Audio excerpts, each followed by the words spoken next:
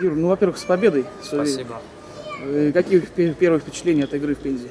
От игры, ну, мы настраивались на серьезный матч, тем более здесь знали, что день города. Э, Команда три игры до, на- до нас, по-моему, три поражения было. Мы знали, что будет матч очень серьезный, то есть настрой очень серьезный. А, Игра выдалась, как видели, сложная. Сложное поле не позволяло играть футбол, контроль мяча, то есть было сложно. Все за счет борьбы. Ребята молодцы. Всех поздравляю с победой, потому что самоотдачу показали невероятную. Ну и болельщикам спасибо, потому что молодцы. Ребята приехали, поддерживают нас. Продолжайте в том же духе. Юр, факел сегодня не пропустил в очередной раз. Что у нас, защита наладилась или, может быть, атака хозяев не настолько сильная была или совокупность факторов?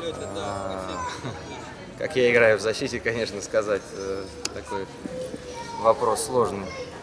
Я думаю, что сыгранность приходит и в линии обороны. То есть от матча к матчу я чувствую, ну, как бы и я, и вот все защитники, то есть уверенность приобретаем, друг друга лучше чувствовать стали.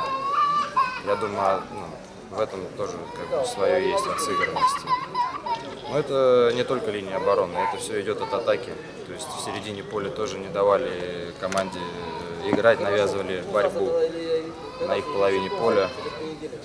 Поэтому это заслуга всей команды, то, что мы играем на ноль. Большое спасибо, с победой.